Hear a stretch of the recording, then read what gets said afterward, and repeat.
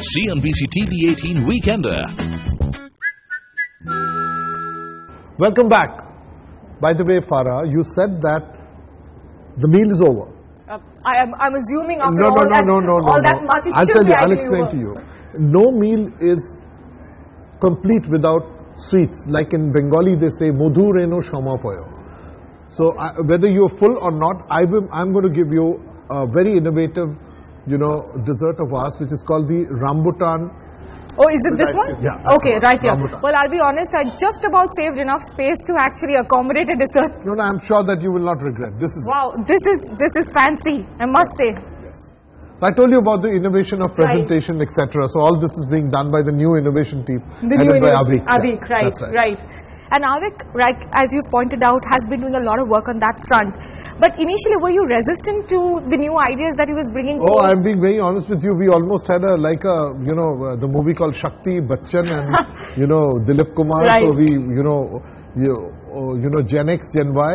Right. So a lot of lot of resistance in the beginning Mm-hmm. and in terms of doing things, but he somehow you know made his way through and ensured that things happen. And then you know when you give results and when you come out with good things in life and understand the space. Mm. I'm very flexible, but in the initial moments, since you've been doing a business with the traditional mind, it takes you a little time for the mindset Mm. So there's a classic generation gap, so to speak. So what is it that really cut ice with you? See, I'll tell you uh, very honestly, the Happipola, Right. for that matter, the space that and the kind of innovations we have done here Hmm, and we are doing in, you know, the Sakinaka restaurants. Hmm. Everybody today, the youngsters, are not eating too much.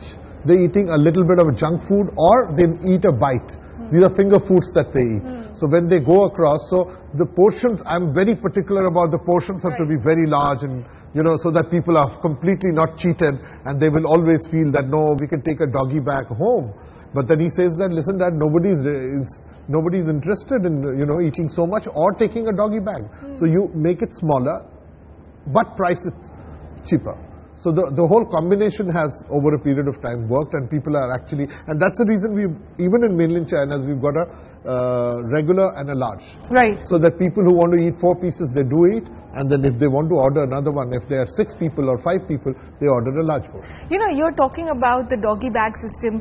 Uh, you've talked about online ordering, in fact, becoming 20% of your revenues. Have you experimented or is there any talk about uh, expanding into that side of the business and online service to probably take your food? Um, We are working on an app. We are Right. working on a dedicated app. But you see, what has happened is that the you know the, the new services which have come in the form of Zomato Hmm. or or uh, Swiggy.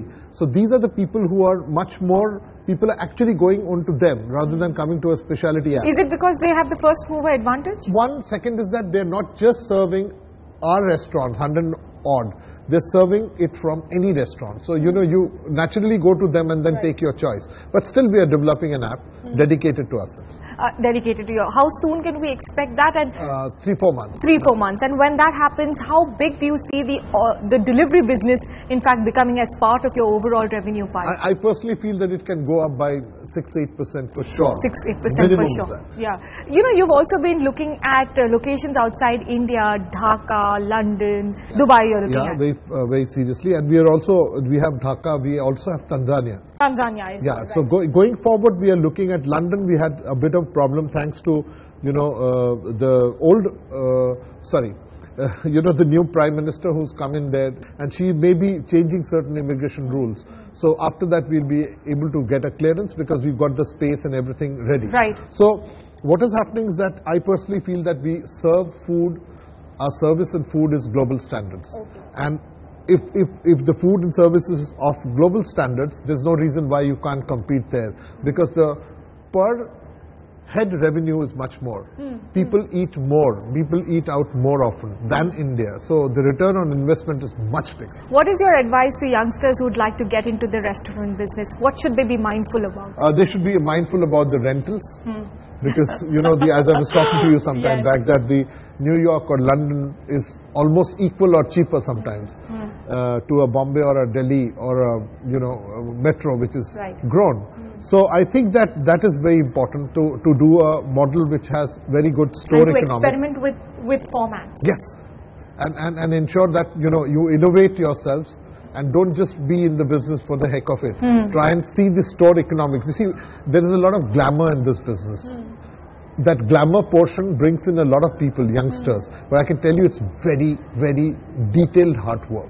I'd like to end this conversation on a sweet note. So, my last question to you What is the sweetest memory that you have of the past two decades that you have spent in the restaurant business? Uh, once I was in Calcutta, and, and you know, I mean, it was actually uh, winter time, and it so happened that there was one lady who was elderly lady who was sitting in the restaurant with her family, and the temperatures had gone down, the ambient temperatures outside, and we had not actually adjusted the AC. It was just December or so, so she was kind of shivering, and uh, it so happened that I had a shawl in my bag.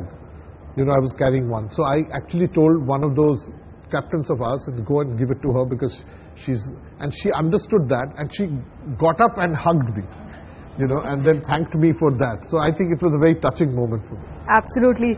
We thank you very much for hosting us My here today, for taking us through your journey, and we wish you and your team the very best of luck. Thank you so much for joining us on you, the Paula. weekend. Pleasure. Thank you so much, sir. all. Thank you, sir. Thank you. CNBC TV 18 Weekender.